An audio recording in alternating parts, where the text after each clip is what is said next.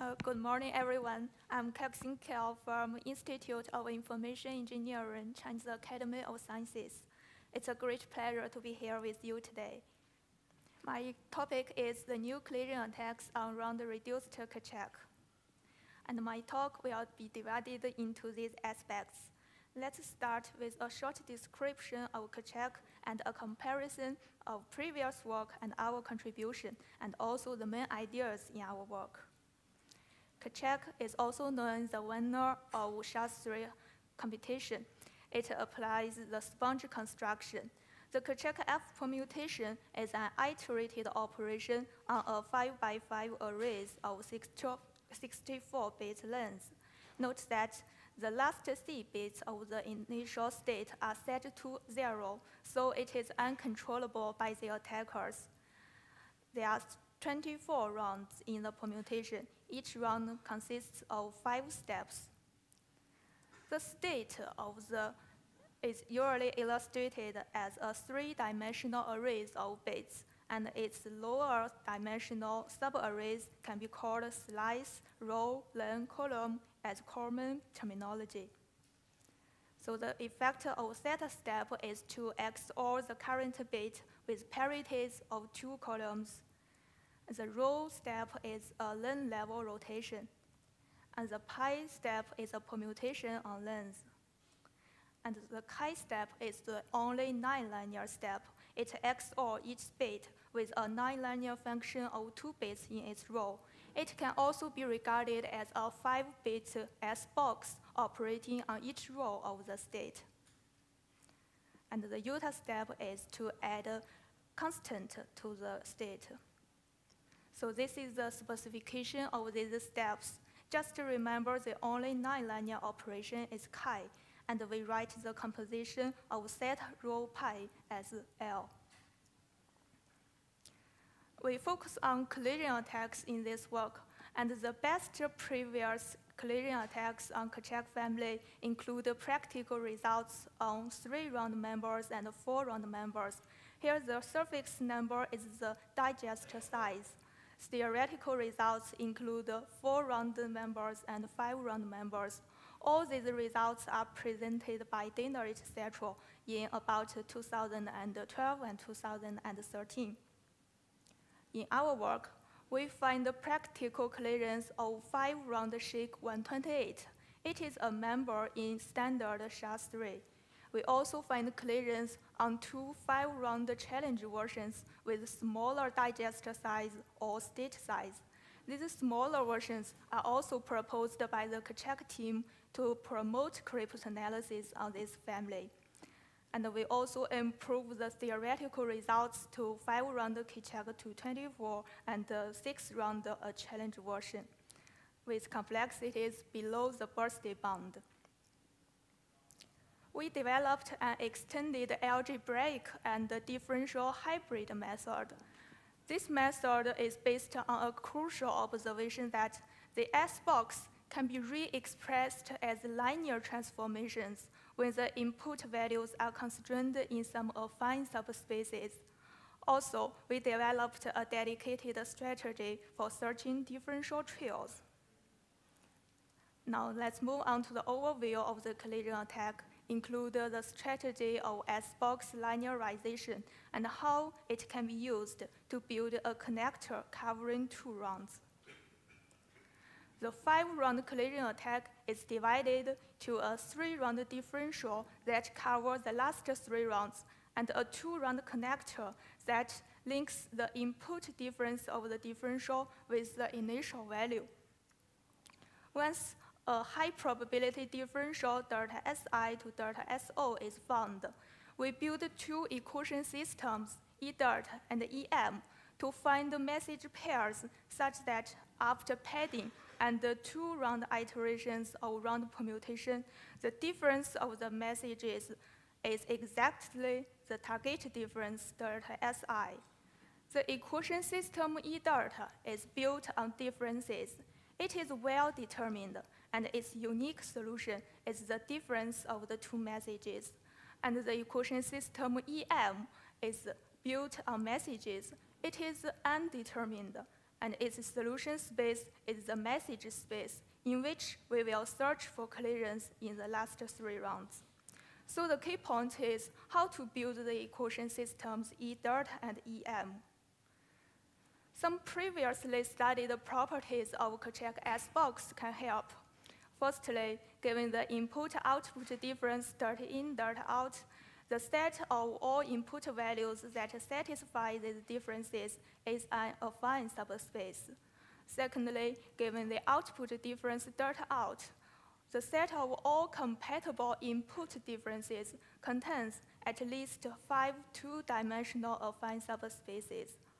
Based on these properties, Dinur etc. built a one-round connector to find the message pairs that after padding and one-round permutation, the difference of the pairs is exactly the target difference delta i.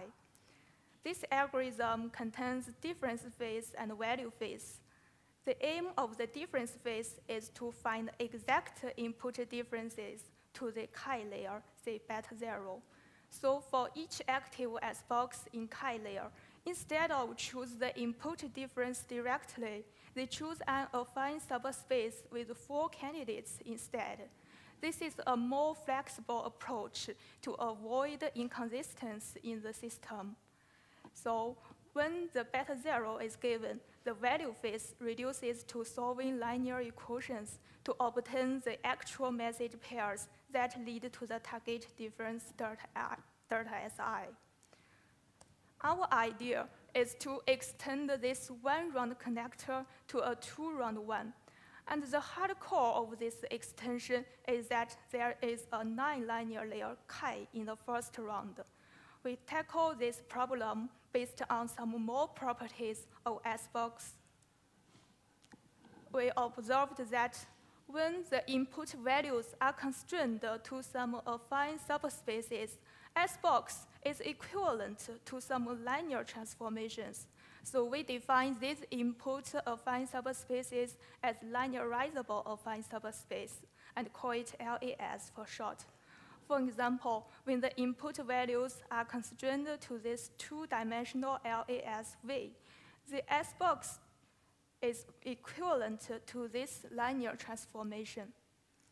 As the LASs are to be used together with differentials, we are more interested in those with fixed input and output differences, which is more relevant with the differential distribution table of Keccak S-box we observe that when the DDT value is 2 or 4, then the set satisfying this difference is an LAS. However, when the DDT value is 8, it does not allow in linearization. Exhaustive search of LASs shows that the largest LAS is of dimension 2.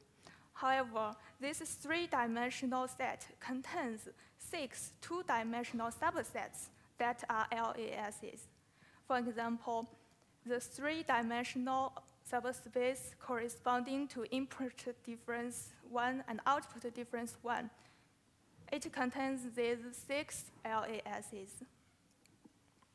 So in our two-round connector, we use this property to linearize the first chi layer. Specifically, we build equation systems E delta and EM on X variables, which is located before the first chi layer, and initialize E delta and EM concerning the uncontrollable bits in the initial state. Given alpha 2, which is the input difference of the differential, we choose randomly a compatible beta 1 and inverse the linear layer to get alpha 1 and decide beta 0 by Dinur's target difference algorithm. Then we constrain X to LASs so that the first chi layer will be satisfied with probability 1, and at the same time, the output value of the first round y is linear to x. Also, constrain z to subspaces to make sure that the second chi layer can be satisfied with probability 1. As z is linear to y, y is linear to x, the equation systems exerted on Z can be converted to those on X. So solve this equation system, we get message pairs that can bypass the first two rounds with probability 1. So far, we talked about the algebraic part of the method. Now let's see how to search for differential trails of high probability. An n-round differential trail is of the form of iterated alpha i beta i. The weight of the differential from beta i over chi layer is denoted by wi. An n-round trail core defined by a series of beta i's is a set of n-round trails where the first round is of minimum weight and the last round all compatible alpha n's are considered. There are three requirements that the differential trails should satisfy. Firstly, there should be no differences in the digest part as we are considering clearance. Secondly, the degree of freedom of the algebraic part must be large enough for the clearance search. The DF here is an estimation of the degree of freedom in the two-round connector. It cannot be predicted precisely, so we set this value to be larger than the weight of the last three rounds. Uh, note that in the last round, only the weight related to the digest part is considered. And thirdly, we want the attack to be practical, so the weight of the last three rounds must be low enough. Our searching starts from search for lightweight beta 3s, where alpha3 and alpha4 are in CP kernel. In the forward direction, we test if there, if there's no difference in the digest part. And in the background direction, we traverse all compatible beta 2s. And in the trail core defined by beta 2, beta 3, beta 4, we check whether the other two requirements can be satisfied.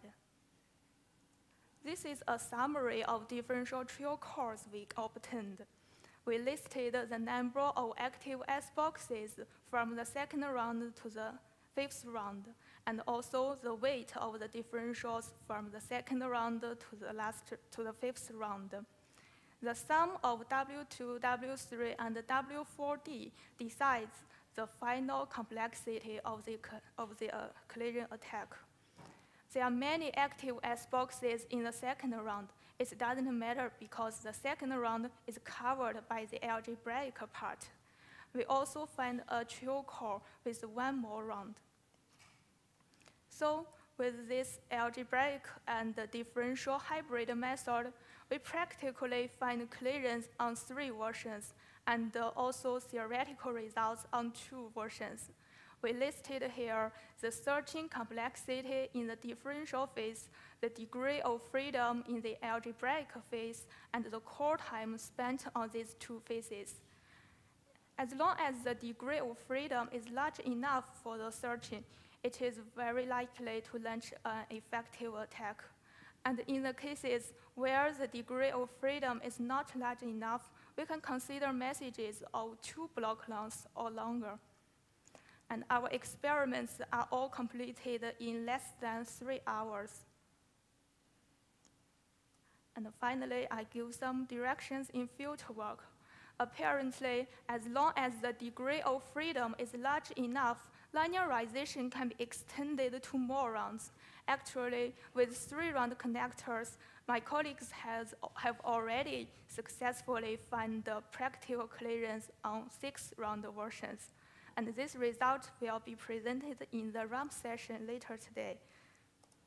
And secondly, the S-box linearization can also be viewed as a row level or 5-bit level linear approximation. The equivalent linear transformation is correct on subspaces. It can also be said it is correct with some probability. And in the linear cryptanalysis, bit-level linear approximation is used to construct distinguishers. So does linearization on alternative levels exist and how to find them? This kind of linear approximation can be used in cryptanalysis on both block ciphers, and hash functions. And last, uh, where system of higher degree work, systems of degree two can also be applied to build connectors. Okay, that's my presentation. Thanks for your attention.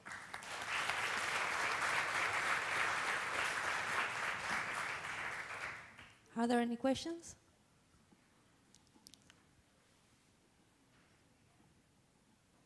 I have a small one. Oh. So you uh, say you have already found three round connectors. Do you think four is possible, or the degrees of freedom uh, do not allow that? Uh, I this, uh, this is six round clearing. Uh, oh, sorry.